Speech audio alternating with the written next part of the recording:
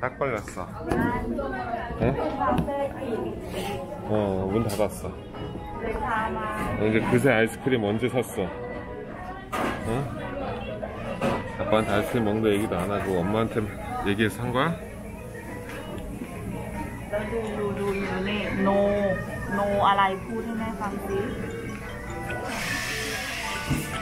แต่เจนไม่ได้พูดว่า no ice cream นะ เนาะไม่ใช่ no ice cream ice cream ได้